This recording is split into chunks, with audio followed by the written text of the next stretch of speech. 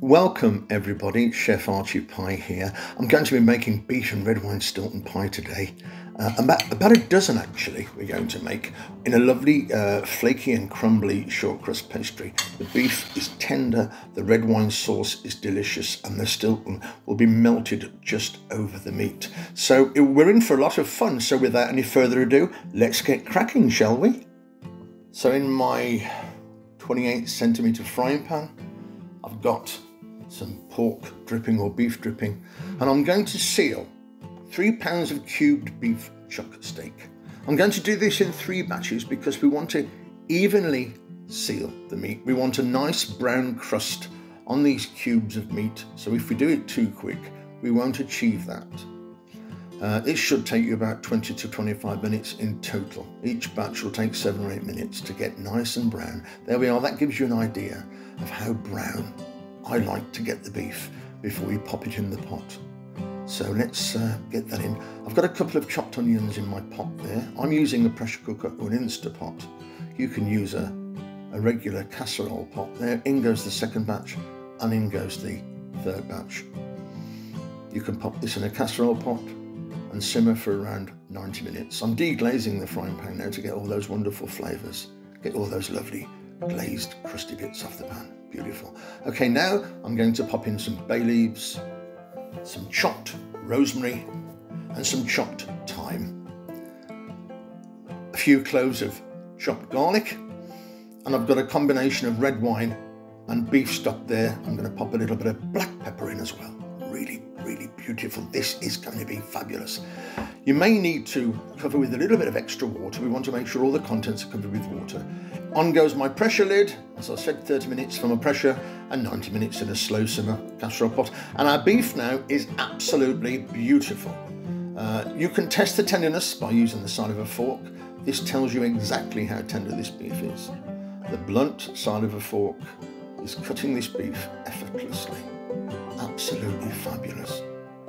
We're in for a treat, a real treat.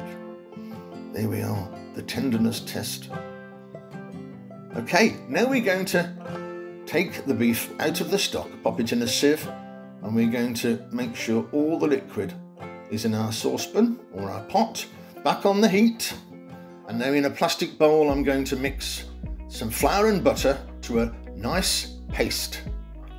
Once that paste has been achieved, like you can see there, pop a little bit of the liquid in I've added a few chopped mushrooms in my beef stock, by the way, that's optional.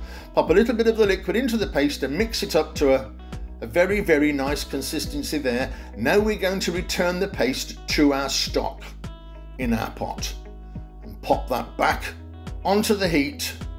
And I'm going to pop a little bit of gravy browning or food colouring in to make my gravy nice and beautifully dark and more appetizing much nicer colour. And now I'm going to whisk over a medium heat until the gravy reaches thickness. And just to demonstrate to you how thick we are, or how thick the gravy is, we're not thick, of course, the gravy's thick. Uh, there we are, that's beautiful. That's the thickness of our gravy. At this stage, if you want to season with salt and pepper, you can, of course. Do taste test, everybody. And I'm just going to demonstrate again how tender this beef is with my fingers. Look at that. Absolutely fabulous. So easy to eat this meat will be.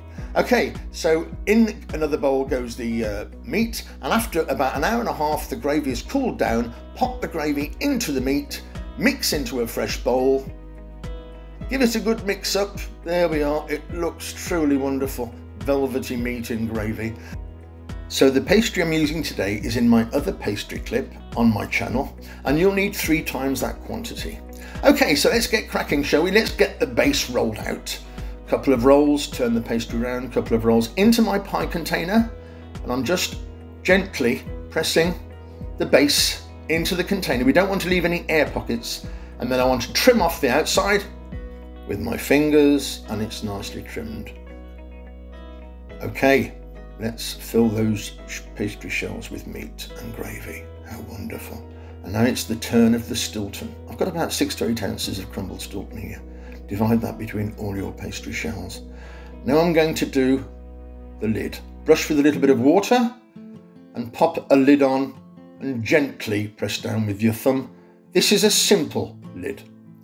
So once you've done that, you'll need to trim it off very, very gently and very slowly and carefully with a sharp knife. So that's a simple lidded pie. Okay, that's really beautiful in itself, but now we're going to do a pinch and crimp technique on the lid to make the, make the pie look truly traditional and beautiful. This is what I call a storybook pie. And you look at those pies in storybooks and nursery rhymes, and you will always see this kind of pattern. And this is a very, very traditional way of doing it. If you look closely, I'm pinching and I'm crimping all the time. Try not to be too heavy handed with this. I can be heavy handed, but for this particular stage of the pie, I have to slow down and be a little bit more gentle. Let's just say that. Nicely crimp and pinch. There we are. And you've got the fabulous, fabulous pattern. And believe me, that looks so attractive. Okay, now I'm going to make some leaves, a little bit of leftover pastry with my little Christmas tree shapes and just, just pinch the ends and form a nice little leaf. There's lots of shapes you can use. I quite like the traditional uh, decorative topping of a leaf. Uh, brush with a little bit of water just to act as your glue and pop a leaf on top. Uh, I'm just going to do the traditional one as well.